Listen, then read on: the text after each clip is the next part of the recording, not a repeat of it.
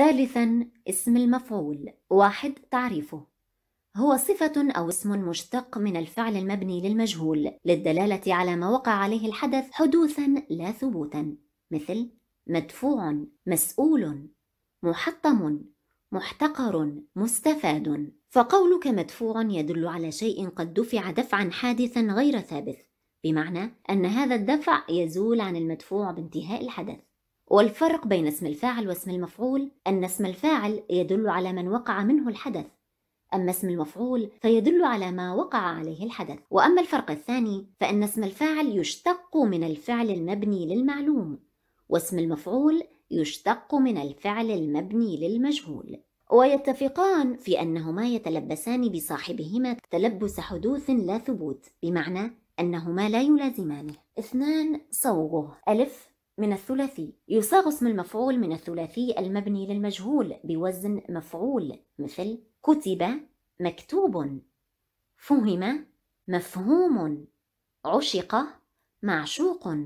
شرب مشروب. قيل مقول.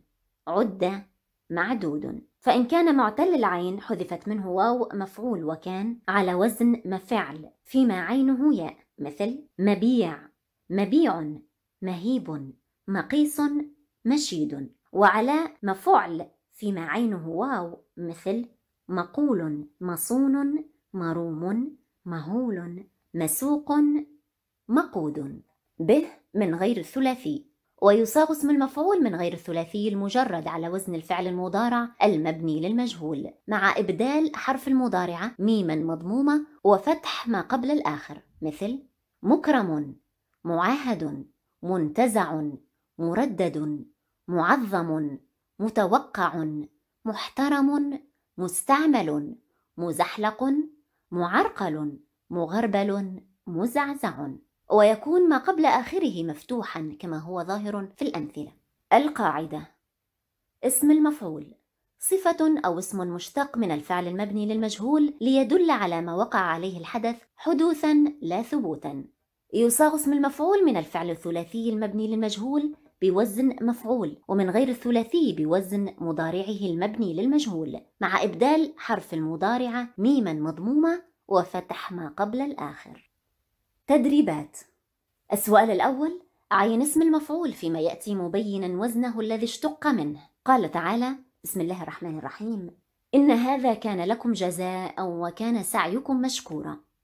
اثنان بسم الله الرحمن الرحيم. أتعلمون أن صالحا مرسل من ربه. ثلاثة فاصبر لحكم ربك ولا تكن كصاحب الحوت إذ نادى وهو مكظوم. لولا أن تداركه نعمة من ربه لنبذ بالعراء وهو مذموم. أربعة فجعلناهم أحاديث ومزقناهم كل ممزق. خمسة والله المستعان على ما تصفون.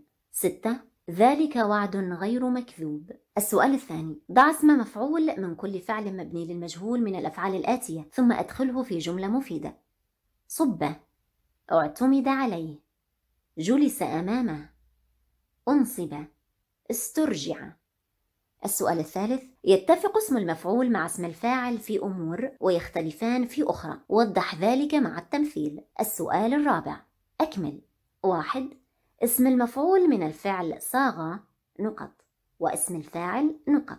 اثنان يصاغ اسم المفعول من الفعل نقط أما اسم الفاعل فيصاغ من الفعل نقط.